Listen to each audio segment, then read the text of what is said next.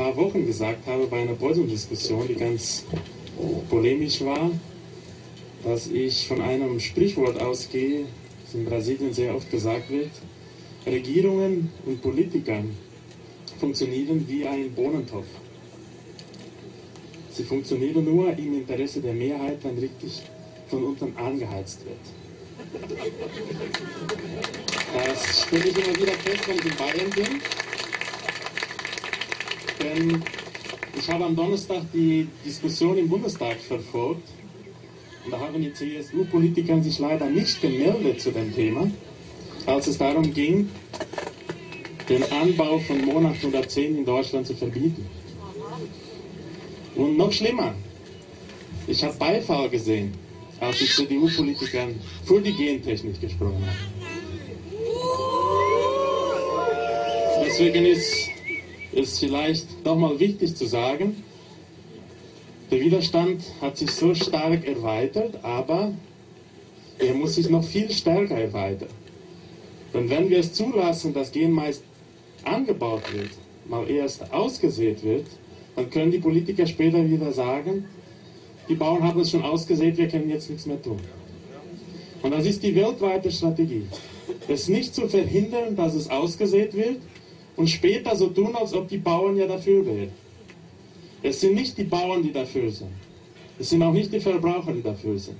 Es sind ein wenige, ein paar Konzerne, die Chemieindustrie, die Lobbyisten beauftragt, die sich noch als wissenschaftlich in die Öffentlichkeit bringen und gegen das Interesse der Mehrheit es durchgesetzt haben, dass es eine Kontamination auf der Welt gibt.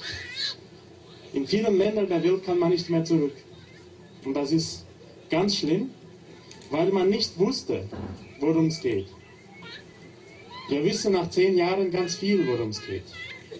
Und deswegen gehe ich davon aus, dass ein Bauer nicht das Recht hat, einen Schaden den anderen Bauern und der gesamten Gesellschaft auszurichten, wenn diese Technik keinen gesellschaftlichen Nutzen hat.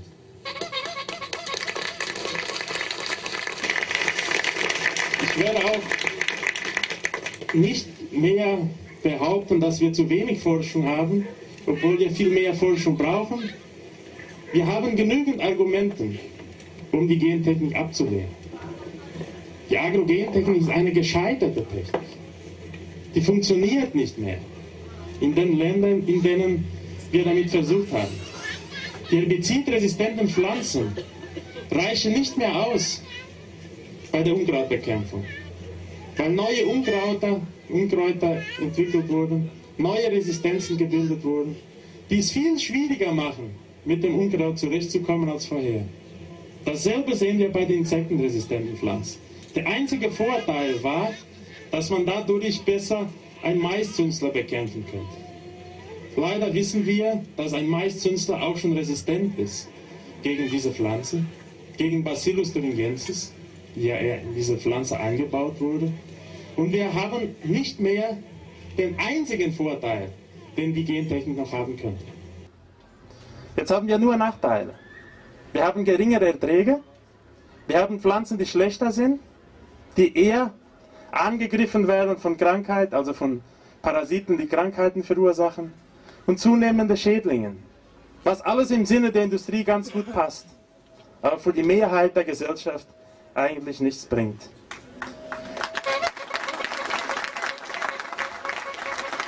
Leider ist es aber auch noch so, dass diese ganze Erfahrung, die wir in diesen Ländern schon haben, völlig ignoriert wird von den meisten Wissenschaftlern auf der Welt. Dass die meisten Schlagzeilen, die immer noch in der Presse stehen, darauf hinweisen, dass man durch die Gentechnik eine schöne Zukunft haben könnte, in der die Pflanzen jetzt ertragreicher sind, besser gegen Schädlinge geeignet wären und dass man dadurch den Hunger bekämpfen könnte. So diese Argumente stehen immer noch in der Presse und es gibt keinen Beweis dafür. Es gibt nur Zukunftsreden, Versprechungen, dass die nächsten Generationen von Pflanzen das wieder erreichen könnten. Die Pflanzen, die heute auf dem Markt sind, seit zehn Jahren haben gezeigt, dass es das Gegenteil ist, was man sieht. Und das können wir wissenschaftlich beweisen. Es geht nicht mehr um eine Glaubensfrage, wie ich es letzte Woche hier gehört habe in diesen Gegenden.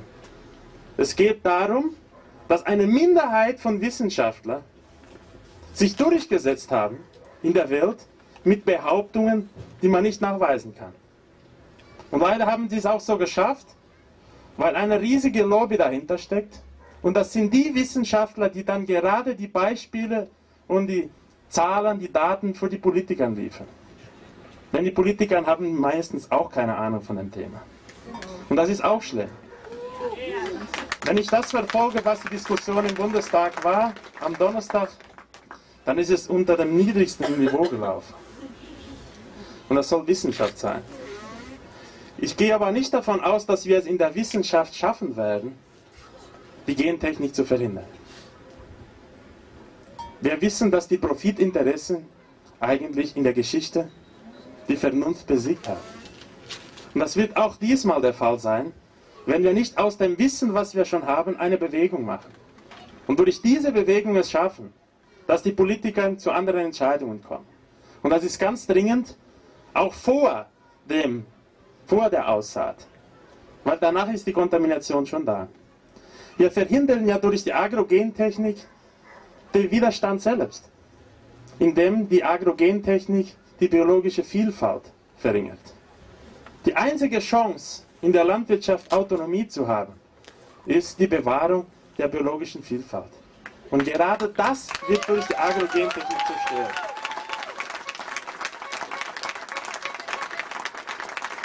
Und es wird in dem Sinne zerstört, weil die Bauern gezwungen werden, das anzubauen, was sie meistens schon in der Welt wissen, dass es nicht funktioniert. Also es ist eine Technik, die weder die Bauern wollen, noch die Verbraucher. Und wenn es aber verhindert wird, dass die Bauern anders produzieren, dann wird es verhindert, dass die Verbraucher noch auswählen können, was sie eigentlich als Nahrung haben möchten. Und das ist der wichtigste Ansatz. Ich komme aus einem Land, das berühmt ist für die Sojaexporte.